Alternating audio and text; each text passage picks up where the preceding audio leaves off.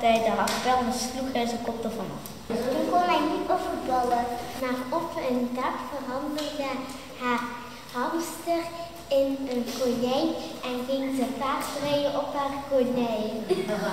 Maar op een dag zagen ze dat ze een heks was met een dikke, lelijke frat op haar neus. En toen zei dat kindje, nee, je krijgt geen geld. Maar op één dag konden kabouterbabbelen. En op de stoep zag hij een vlinder en die vlinder eet de, de slimme knacht op.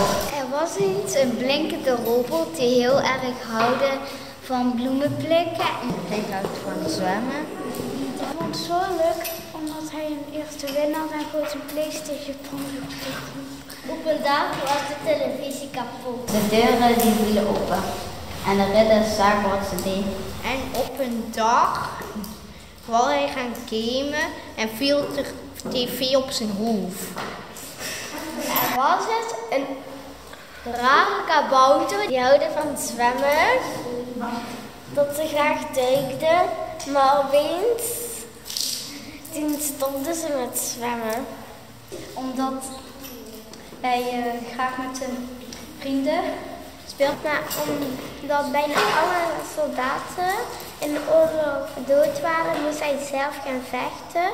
Maar zijn vader, de koning, had beloofd om, als hij het over, overleefde, 1000 euro te krijgen. Maar op een dag was de paard verdwenen. En toen ging ze, gingen ze altijd samen lasergamen. En maar op een dag was ze op een wedstrijd en was ze zo en was ze op de paard gaan staan en dan had ze nog gewonnen. Er was eens een gierige edelman En die hield van vallen om de mensen aan lachen te maken. Op een dag was ze aan het zingen en toen viel ze op de grond en ze zei ai ai ai, oh.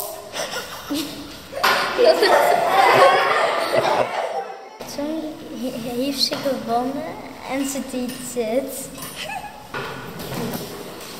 En dan ziet ze een vogel. Ziet een vogel.